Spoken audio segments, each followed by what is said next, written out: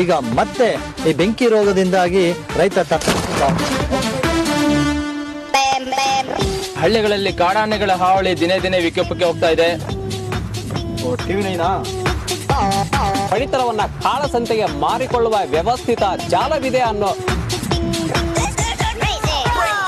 ಉಪಕುಸುಬಾಗಿದ್ದಂತ ಹೈನುಗಾರಿಕೆ.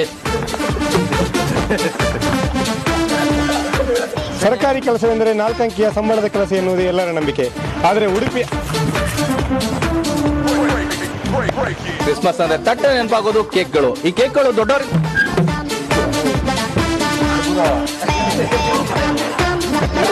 ರೈತನ ಬದುಕು ದಿನೇ ದಿನೇ ಸಮಸ್ಯೆಗಳಿಗೆ ಸಿಲುಕಿಕೊಳ್ತಾ ಇದೆ.